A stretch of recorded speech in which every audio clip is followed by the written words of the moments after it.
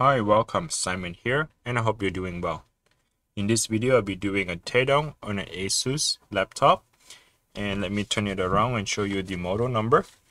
If you flip it around, you can see that it says TUF516P, and that is the model of this laptop. In this video, I'll be telling you or showing you how to upgrade maybe your M.2 drive, maybe the RAM, maybe change the battery or the CPU fan, things like that. So I'll try to do a complete teardown and walk you through step by step on how to do so. Alright, so the first thing you need to have is a Phillips screwdriver and I'll be using the electric screwdriver here.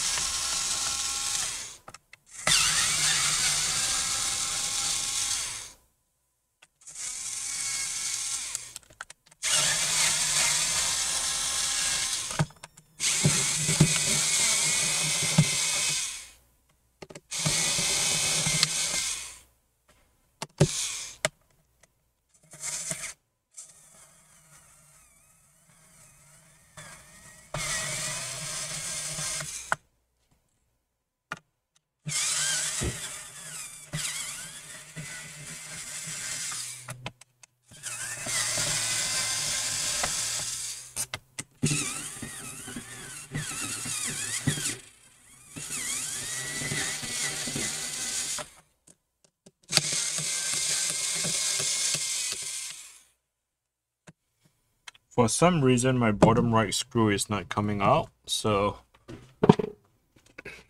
let me see.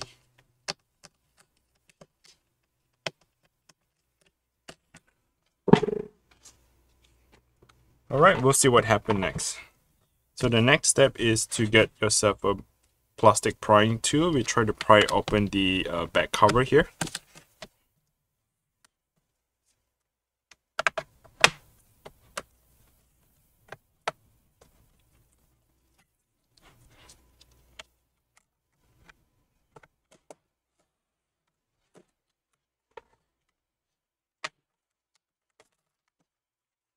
Okay, once the back cover is removed, you can see entire laptop um, what is showing here right, right in front of you. Okay, so let me kind of just walk you through what are the components. At least you get an idea what you're looking for. This is the laptop battery.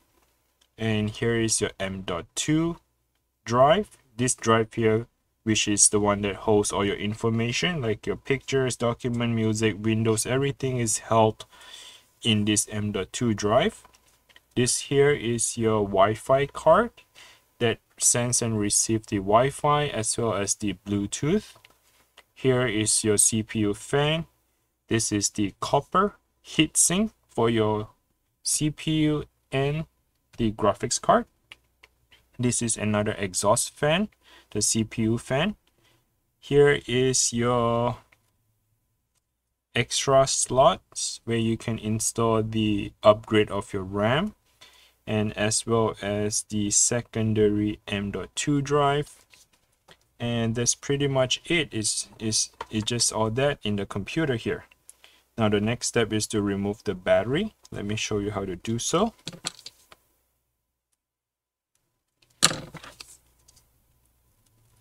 I just need to make sure that this leader uh, this little tape is not in my way.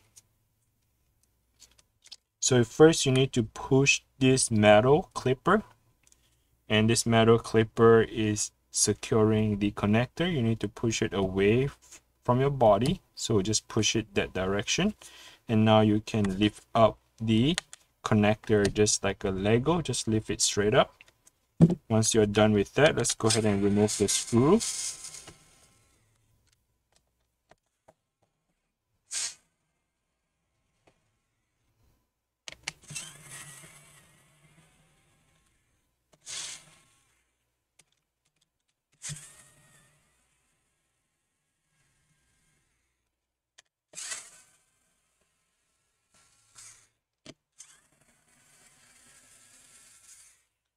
Okay, once you have removed the screw, the entire battery will just come right out. And if your battery is not holding the charge, or if you see your battery is swollen, or if there's a lump to the battery, that means that you need a replacement. Now, where do you find the replacement model? If you take a closer look here, it says C4 1N 1837. That would be the model for this battery. Let's put that on the side. Now let's go ahead and remove the M.2 drive.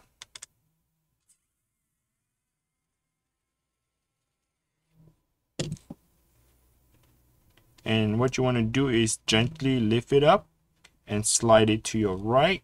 I know if it's going to feel a little bit sticky and hard to remove. The reason is because at the underneath here, you can see that the thermal pad this thermal pad conducts the heat, bringing the heat from the chipset here onto the motherboard, right? So this little thermal pad is sticking onto the motherboard, so you would have hard time sliding it out. But do not put a lot of pressure, just enough to gently and slide it off once you remove the screw. Now, if you want to recover the information, I recommend you to buy one of these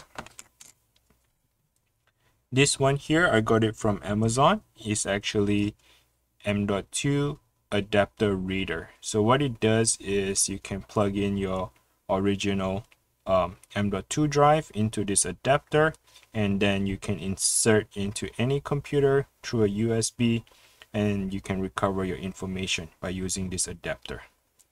Okay, and for those of you who thinks that the 512 gigabyte is too small and you try to upgrade it to like maybe one terabyte or two terabyte you can actually buy the adapter and do a cloning so you can clone everything over from the original to the larger M.2 drive. I make a separate video on the cloning part. I'll link them in the description below. If you want interested to know how to do so, go ahead and check it out. All right, so let's put that on the side. Now here is your additional slot for your DDR4 RAM.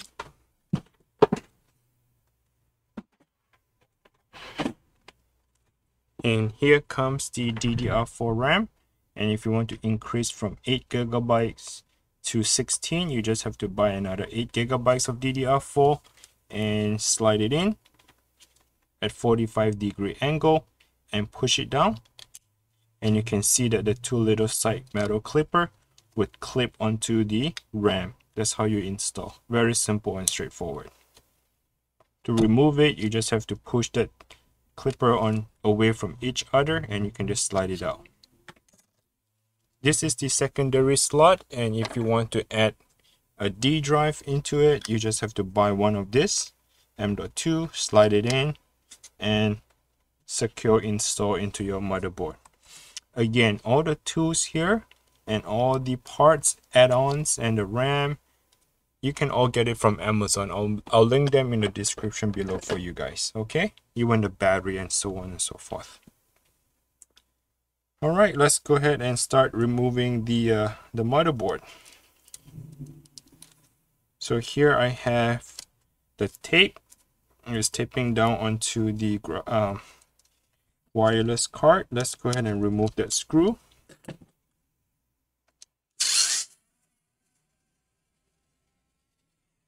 The white cable is on the left and the black is on the right. They're just like Lego, they snap onto it. You just lift it up and slide the Wi-Fi card out. Okay,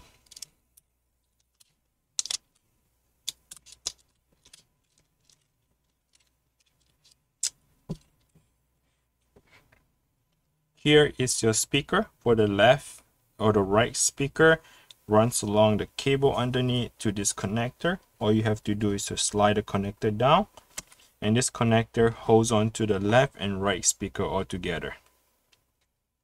Okay, so keyboard, you need to flip open the clipper and slide that flex cable down. This is for your touchpad. Flip open the clipper, slide it down. This is for your keyboard LED light open up the clipper and slide the flex cable down. Here comes the LCD screen connector. So make sure you have the tape open up. And now once the tape is open, you can gently slide the cable away from your body. So to that direction.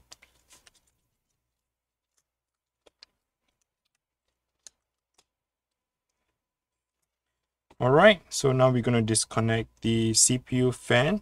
So the, the connector is right here. All you have to do is to push that connector away from your body. The other one is hidden underneath. We're going to do all that in just a second. Now the next step I like to do is to remove the screw.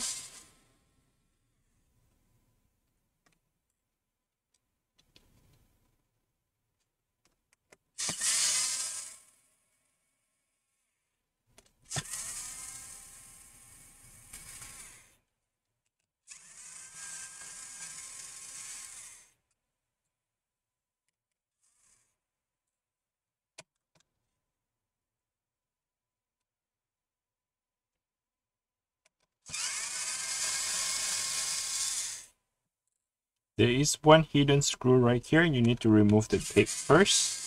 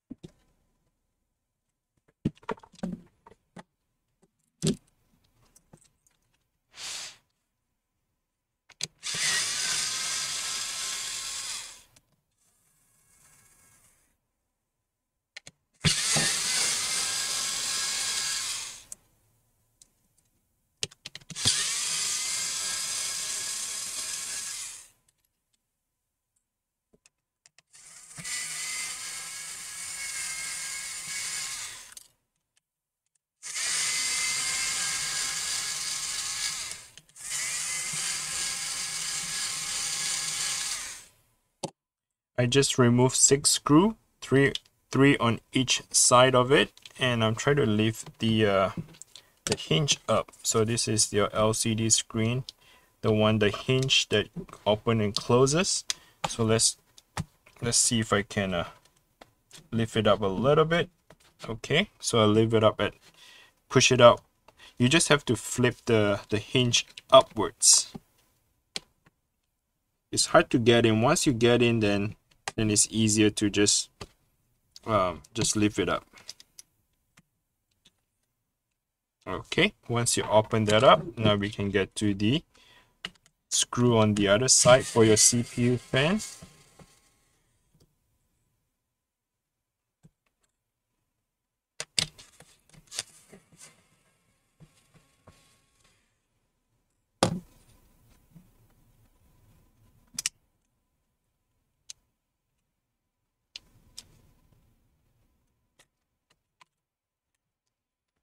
Oh, sorry, do not forget this little tiny piece right here. You need to flip open that cable and then slide the flex cable out. That is probably for the uh, the lighting on the keyboard or something else. I wonder why it is still attached to it. So let me let me just remove all one big piece together. I'm trying to remove the CPU fan, all the heatsink, one at a time, but it seems like it's stuck onto the stuck onto the motherboard where I have to remove the whole thing altogether. So let's let's just do that.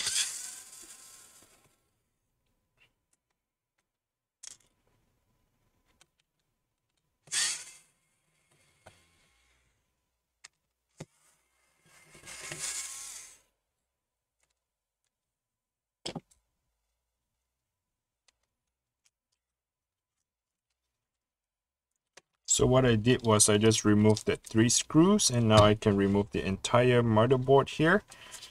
And let me see if there's anything holding on to the heatsink. It doesn't seem like anything is holding on to it and maybe just the tape and all this tape right here I might have to separate them maybe let me see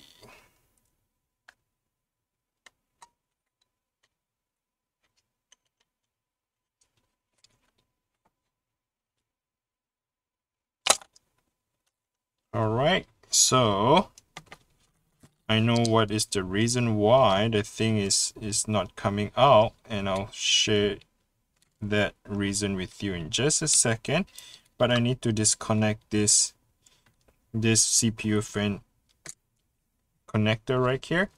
Okay so the pretty much the um, the thermal paste and the thermal pads they are somewhat melted onto the uh the chipset. So this is what makes them stick together and it feels sticky. That is why the reason the heatsink is hard to come out. And if you put enough slight pressure and gently work your way and pushing more and more to the pressure point and the heatsink would just separate away from the thermal pad or the thermal paste. Now this is a good reason why you want to come here and and use the alcohol wipes to wipe it down. Let me see if I have any here. So you can use like alcohol wipes and clean off the thermal pad on your CPU and the graphics card. And you can use the, uh, the thermal compound or thermal paste, apply them onto the new one so that you can have a, a better um, better heat conducting. Okay so let me go ahead and squeeze a little bit. I'm not going to clean it off because they are still fresh and new. Since i have it removed i just like to squeeze a little here to keep my cpu and my graphics card you know moist and not overheating. Okay let's put that on the side. Now we have the motherboard removed. And this is the entire motherboard. If you're planning to um, so this is the 8 gigabytes RAM. So they do have the RAM pre-built onto the motherboard. And this is the only slot where you can add additional RAM to it. Okay? Now let's talk about the keyboard is the keyboard replaceable? The answer is no because the keyboard is built in all together. You see all these little punch down tools? The keyboard is punched down by the manufacturer. It is not something that you can um, replace the keyboard. In other words you would have to replace the entire keyboard with the palm rest. So this is the whole built-in keyboard you would have to if one of the key is broken you would have to replace the whole thing here with the touchpad and the palm rest so the keyboard is built in one piece together like this. And this is your LCD screen. So I hope that the video is helpful. And if you have any question, comment below. And also, if you find the video is helpful, please give me a like and smash the like button and subscribe to the channel if you haven't. And thanks for watching. Until next time. Bye now.